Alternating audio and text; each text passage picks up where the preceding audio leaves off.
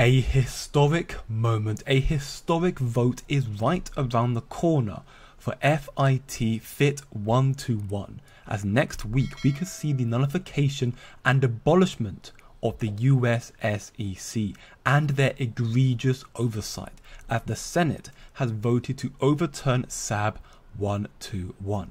This could be a pivotal moment to lead the crypto industry to a price boom and especially XRP, as they are about to receive legal regulatory clarity in the courts by winning the lawsuit against the SEC.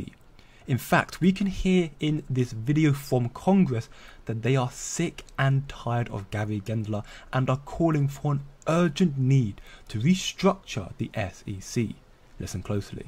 As members of this committee, we have worked tirelessly to ensure our markets remain the deepest and most liquid in the world.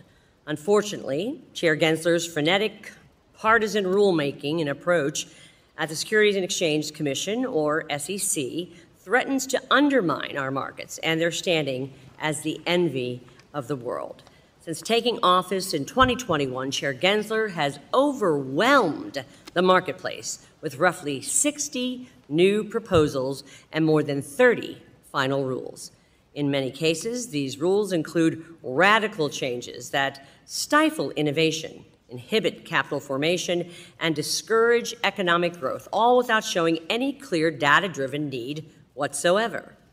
Chair Gensler has advanced these changes while abusing the rulemaking process, overstepping important legal and practical guardrails that foster thoughtful, carefully tailored regulations that benefit rather than harm our markets.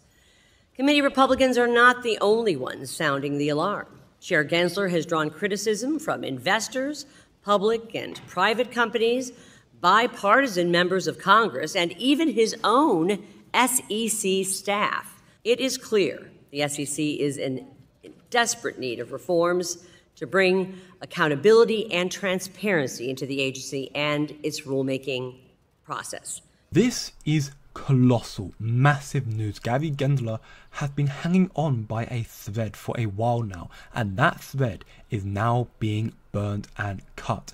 And it's about damn time, because no single individual like Gary Gensler, especially, should have free reign to destroy US companies and damage the retail investment market due to political hit jobs. So, all that's left to do now effectively is just cross your fingers and pray, as we are now less than 10 days away from the President of the United States, Joe Biden, to make a verdict on this vote to nullify the SEC.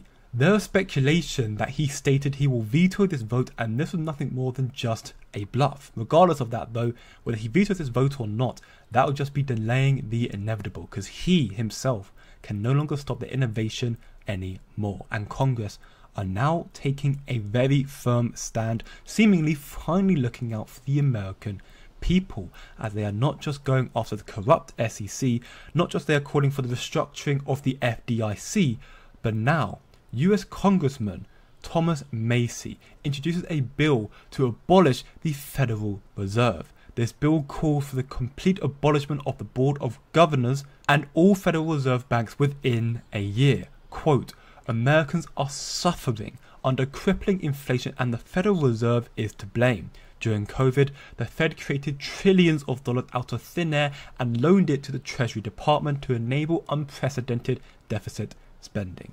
So, this is calling for the end of the Fed.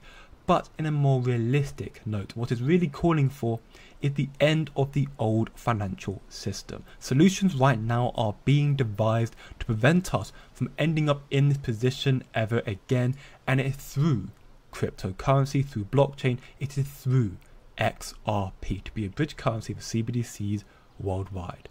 Don't look short term, think long term. XRP is about to explode in price.